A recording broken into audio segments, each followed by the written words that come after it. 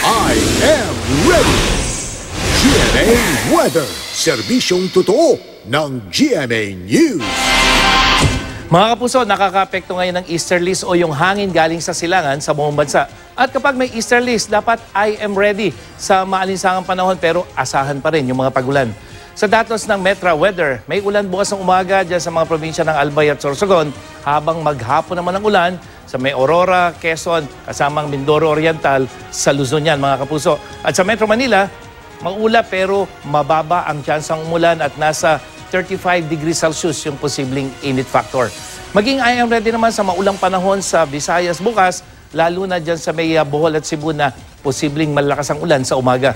At sa Mindanao, maghapong maulan sa mga rehiyon ng Caraga at Davao at asahan din ang thunderstorm sa malaking bahagi ng uh, Mindanao pagdating sa hapon.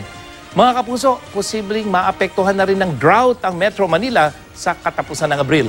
Sa ipinalabas na datos ng pag-asa, nasa 27 lugar sa Luzon, 13 lugar sa Visayas at 11 lugar sa Mindanao ang makakaranas ng tagtuyot dahil sa El Nino.